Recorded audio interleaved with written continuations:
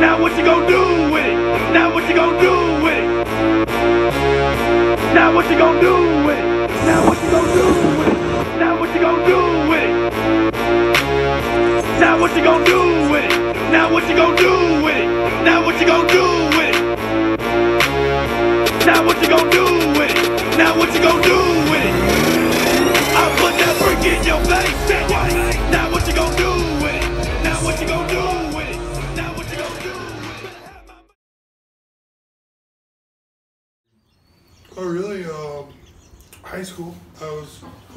team. Pretty good football. I started all three years that I played and did awesome. But my one coach, Carlos, our strength coach, he always, always bitched at me. Oh, you're just too fucking strong. You don't even know how strong you are. He just always did it to me. So started using things from there. Did a powerlifting when I was 18. Bombed. Didn't know how to deadlift. Makes sense. and I just kind of faded after that. Started playing a lot of rugby.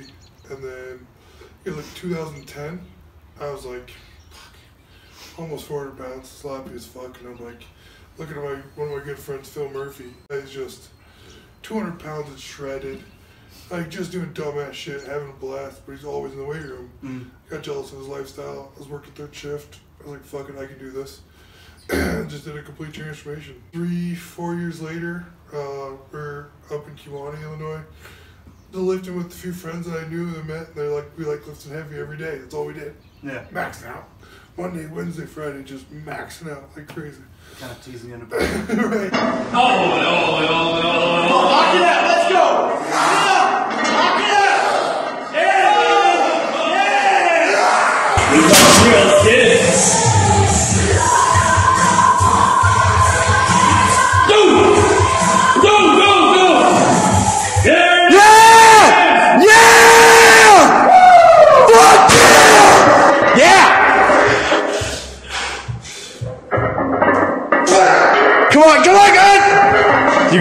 You got it.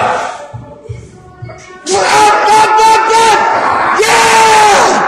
guys, we went to this charity event, and these guys like, you guys from Jack Jim, Byron and Tony and Patrick Warren and all those guys are like, you guys are just strong as fuck, but you're just cockstrong. Like you have no idea what you're capable of. So, ever since then, signed up for a meet and been a fucking roller coaster since. Uh, this February UPA Nationals, uh, February 2014, and uh, totaled at 750 pause squat. I actually walked it out because that's all I was used to. I was like, I was literally sat in the hole, paused it, went up, 440 bench, pulled out of my ass. I think I deadlifted like 716 on my second attempt and just missed 750. Uh, 1906 total, 12th in the country. Everybody, Right yeah, right. Everybody's like, "Oh my god!" Like, you don't know what you just did. I was like, "No, what? What did I just do?" Right. I just had no fucking clue. And things just kind of took off from there. I signed up for another meet like four weeks away. Got an 1822 total. I didn't even worse, but I was just trying to shoot for numbers that weren't there and didn't know what the hell I was doing, like training wise. Didn't know what the hell I was doing, supplement wise. Like I was just, hey, let's do it. Right. Yeah. There's another UP meet farther down the road, and I asked uh, Eric to coach me, Eric Oldbridge. And I ended up totaling like 2077, so I was knocking on the door, tw- knocking on the door 2100. That was your first 2,000 pound total? Yeah, first sanction, 2,000 pound total. Yeah, cool.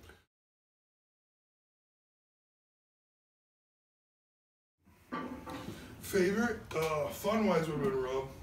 Rome was a lot of fun just because there's a lot of big names there. Of course, I knew everybody. Like, barely anybody knew me. So, not many people know this, but when I get nervous, I just fucking stutter the shit out of my words, or I'll just do dumb shit with my hands. So that's where this came in. So I'm walking through the meet, nervous as shit, seeing all these guys I just like fucking adored the last ten months of my life. I'm like playing the circle game, I'm like, hi, how's it going? You know, just being Break the ice. yeah, being a fucking idiot. Yeah, exactly. I honestly went down there without a clue of even winning, and I pulled it off. No, f- that uh, John Carson from Canada, he an 893 deadlift. I was like, I was like, there's no way I was gonna beat this guy. And, But ended up, I pulled 810, and I changed my attempt last minute. He changed his attempt to 893 and just missed it. I think uh, Jim Grandick and Big Iron Crew for, for that because they were down there and they told me, just wait for him, just wait for him. He'll jump the gun. Oh, no, that was the funnest per se. But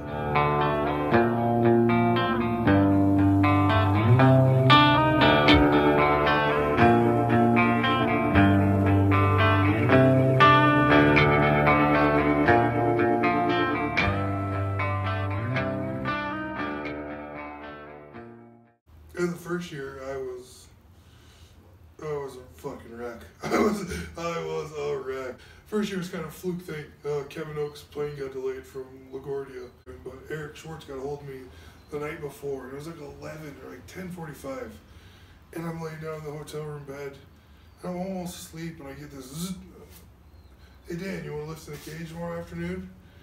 And I I remember I replied back to him like, "You just made this guy's dream come Sure. true. Like, you have no." I was like, "I would love to." Oh God, I was nervous. Chad Wesley Smith was walking in there. Brandon Lilly was hopping around on crutches, and I'm just like, "Oh my God!"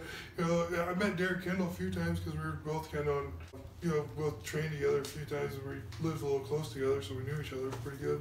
So he kept me a little comfortable. Tom Kells, he was in there too. It was pretty pretty nerve wracking. Yeah. I, I think I worked up to 925 and I'm like, okay, that's good, that's good. We'll call it a day. Cool. So wasn't really any set plan that first year. no, Yeah. no, no. I, well, it was like three months before that, I had 914 at Rum, and I hadn't been training that consistent. Actually, the night before, that, that night before, I went to a gym in Columbus and I hit like, I worked up to 600 pause squats, just set of five, and I'm like, okay, training's done. I'm here for the Arnold's, you know, the off season type thing. Second year, I knew I was going for a grand. I, I got nerve wracking because I stumbled on 905 to 955. Yeah. And of course, um, stepped up to the plate on 1000. Threw the dip in and fucking smoked it out. Yeah, it's true. It's true. Fan packed her hard for me and Yep. went to town.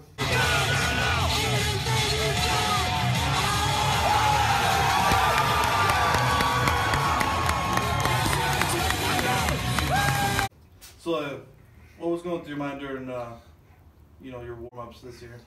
This year, it it was second nature to me this year. Yeah, just kind honestly, of yeah. thing to do. I know the, the crowd was. It seemed like the crowd was uh was just as good as it has been. You know, they were always just slam packed full of people screaming.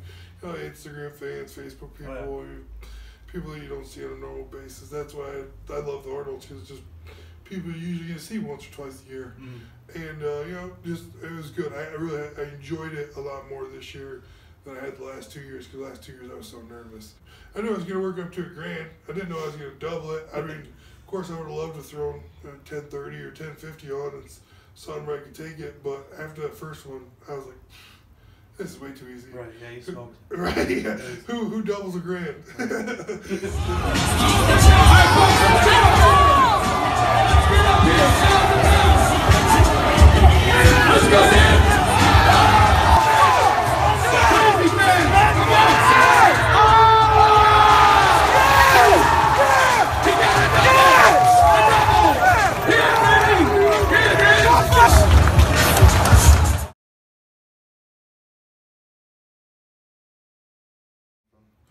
Actually, uh, it's Cheeks Rosenberg.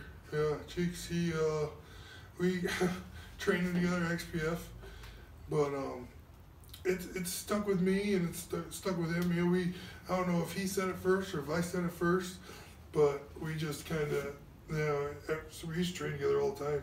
He's he's, he's got it on the inside of his belt. I got it in this inside of my old belt.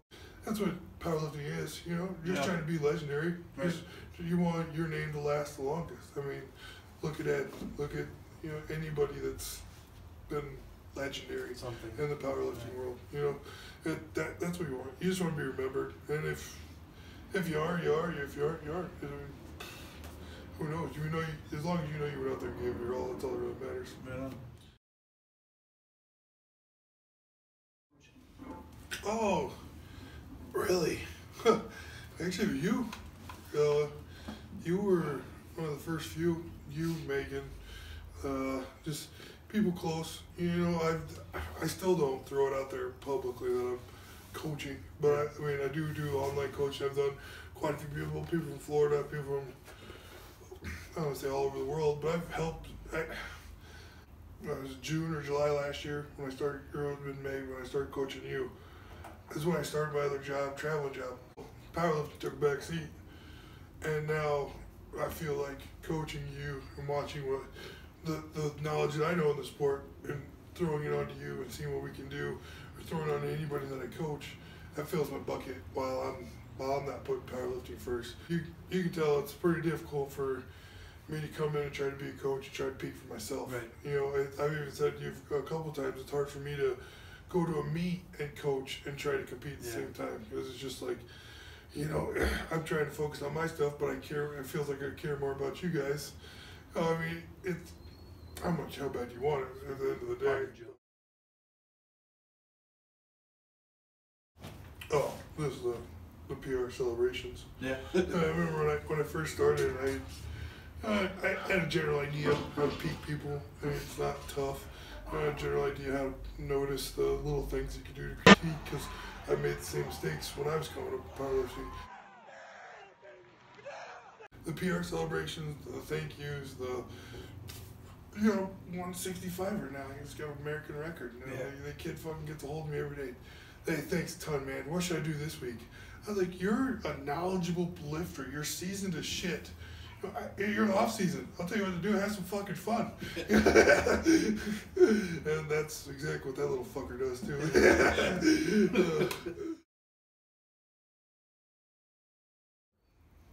it's a hobby.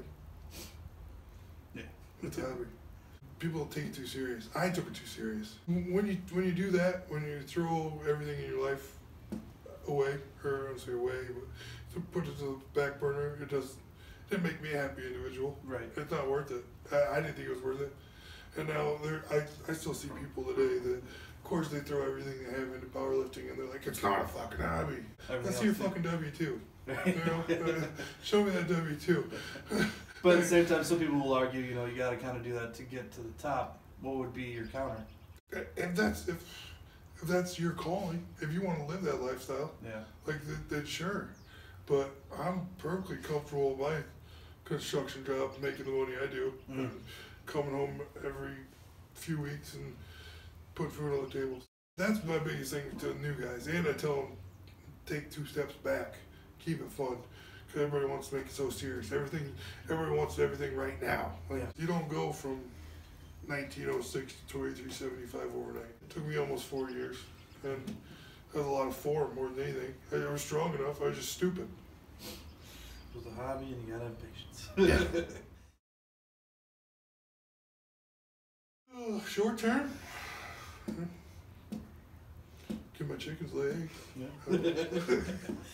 no, no, I'm chilling right now. I'm uh, I'm enjoying life. Just you know, working, lifting, having fun, coaching still. We got quite a few guys competing next weekend. I got or two weeks, and I got a couple more guys coming up in July. It's just that's still filling my bucket pretty good and entertaining with those guys. But I'm trying to reconstruct everything and try to build my base up. I really, really want to bring my game for October. hmm That's that's my plan. Which was the next topic? Big dogs, Australia. Yes, sir. Yep. Yes, sir. Gonna be coming. Yeah. We gotta mention too much. no, uh, uh, everybody knows now I'm going, so um, uh, I'm I give everything I got. Plan on working with Ed Coan a lot, trying to critique a lot of things and fix some things, and just just bring my game. Go to April the U.S. Open and help uh, help handle Andre for for that, and then him and I go head to head. So it'll be it'll be real good. I mean, I know there's Andre's not the only guy I gotta watch out for either. Or Sean Doyle, that fucking strong asshole. I see him and Duffin going. I was like, God, one day I just want to be as strong as these guys. but yeah, so many big name guys on the list right now. Yeah. Who it's just I mean, just like U.S. Open, who knows who's really gonna show up? But my plane ticket's right next to bought, so I just had to go through a huge process for a damn passport. I'm, there's no way I'm not going now. I almost, I almost had to buy another gun just for that. Any last comments you want to leave? Oh no, um, like, follow, share, uh, ENG Barbell. It's uh, home number one now for me. Trying to do big things, trying to help out the community, and get the ball rolling here in Dubuque, Iowa. See what we can do. A lot of strong folk. Well, thanks a lot for your time. No problem. Look, slide! Let's go! Yeah! Fuck yeah! Say, bro, I love you to death, but bitch, you gon' hit it or you gon' lay on top of it. Get the fuck up, nigga, you ain't dead shit. Just got this word from above, placing my heart in this message. Evil's after your soul, people smart with deception. Keep a sharp observation.